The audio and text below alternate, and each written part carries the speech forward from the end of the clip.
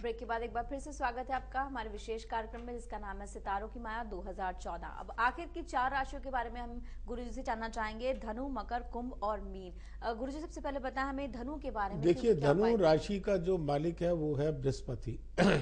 बृहस्पति का मतलब है ज्ञान बृहस्पति का मतलब पिता बृहस्पति का मतलब वृद्ध व्यक्ति और बृहस्पति का मतलब ब्राह्मण बृहस्पति का मतलब दादा और बृहस्पति का मतलब ज्ञान। अगर आपने बृहस्पति को नीच किया तो ये साल आपका बहुत खराब चले जाएगा, और बृहस्पति को उच्च करना है तो इसकी निशानी ये होगी, अगर बृहस्पति नीच जा रहा है तो सिर के बाल उड़ने शुरू हो जाएँगे, और पिता के स्वास्थ्य में परेशानी आनी शुरू हो जाएगी। अब आप क्या करें? फ़ौरन बृहस्पति कुछ करें, केसर का तिलक लगाए, पीपल पर जल चढ़ाए, पिता की सेवा करना शुरू करें, और पीले कपड़े में, चने की दाल और केसर हल्दी और गीता की पुस्तक रख के ब्राह्मण को दें तो आपका ये धनु राशि के लोगों को बहुत लाभ। राहु केतु और गुरु की शांति करा ले तो धनु राशि के जो लोग हैं उनको बहुत लाभ आना शुरू हो सकता है। उसके बाद आते हैं हम मकर राशि पर। मकर राशि का अर्थ है ए, ए, क्या कहते हैं मकर का मतलब है शनि ये दसवीं राशि। देखिए दसवीं राशि का मतलब शनि और शनि, मकर और कुंभ दोनों के लिए। अगर शनि खराब है तो आपको जो शनि के कारक हैं, शनि जिस जिस का कारक है, उन उन चीज़ों में नुकसान होगा। और उच्च करना है तो तवा, चिमटा, अंगीठी किसी साधु को दान कर दे। और इसके अलावा एक लोहे के पात्र में सरसों का तेल या तिल का तेल डालकर उसमें अपनी शक्ल देखकर और शनिवार को रात को नौ बजे के बाद पीपल पर रखकर उसकी जोत बना के जला दें। इसके अलावा चींटियों को काला तिल और चावल पीस कर डाल दें, उसमें मीठा डाल दें। फिर नारियल के गोले में खोया घी और बूरा भर कर उसके ऊपर छेद करके, बंद करके चींटियों के घरों के पास गाड़ दें, ऊपर बड़ा पत्थर रख दें ताकि कुत्ते उसको खुरच के ना निकालें। बस शनि उच्च होना शुरू होता, गुरु और राहु की शांति करा लें ये और इसके अलावा राहु केतु की शांति करें, गुरु की, राहु की, केतु की, और साथ में आप गाय की पूजा करें तो मकर और कुंभ वालों को बहुत लाभ आना शुरू हो जाएगा। उसके बाद हमारी पास बारहवीं राशि बचती है, मीन। मीन का मतलब है बृहस्पति। ठीक मैंने अभी थोड़ी देर पहले बताया, आप पीले कपड़े में चने की दाल बांधकर, हल्दी रख कर किसी वृद्ध ब्राह्मण को दान करें, पीपल की सात परिक्रमा करें और वहाँ के जल से माथे पर टीका लगाएँ, केसर खाएँ और केसर का तिलक लगाकर और बाकी केसर का जो तिलक के समय बचता है, उसको अपनी नाभि में लगाना शुरू करें।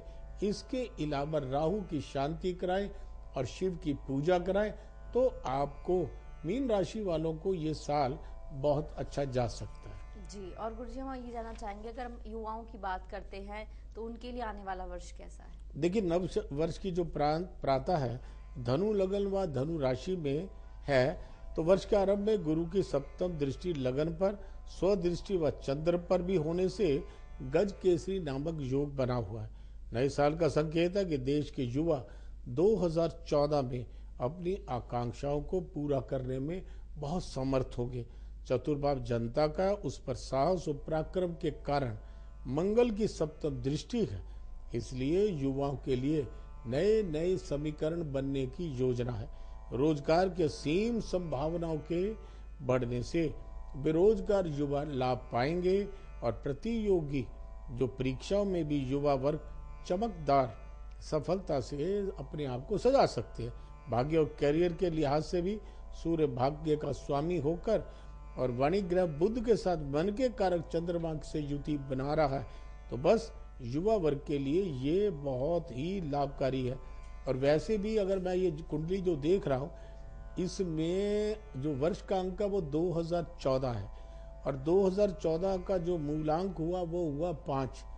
और इसलिए पाँच अंक का स्वामी बुद्ध है। बुद्ध एक युवा और सुकुमार ग्रह है। इसके अनुसार व्यापार के रास्ते युवाओं के लिए बहुत खुलेंगे और यह वर्ष युवाओं के लिए शुभ होकर उन्नतिदायक रहेगा। इसलिए युवाओं को बहुत निश्चिंत होकर रहना पड़ेगा। जी और हमारे साथ एक और कॉलर अबोहर से जुड़ रही हैं। सिमरन जी हैं। सिमरन जी आप जो भी सवाल है गुरुजी से पूछ सकते हैं लेकिन अपने टेलीविज़न की वॉल्यूम प्लीज़ कम रखिएगा। बताइए।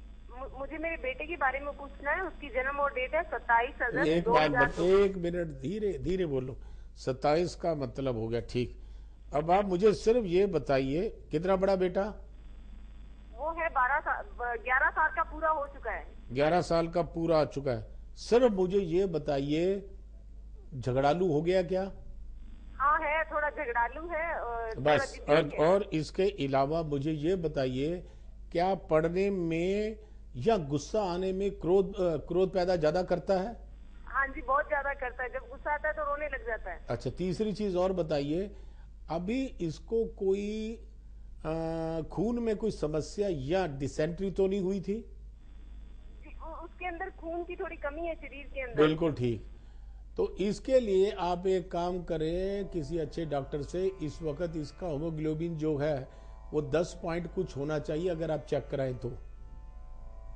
चेक करवाया था होमोग्लोबिन? नहीं चेक तो नहीं कराया। अभी पहले थोड़ा वीक था इसलिए चेक कराया था। जब पहले था। आपका जो होमोग्लोबिन था वो 11 कुछ था अभी 10 कुछ होगा चेक कराएँ।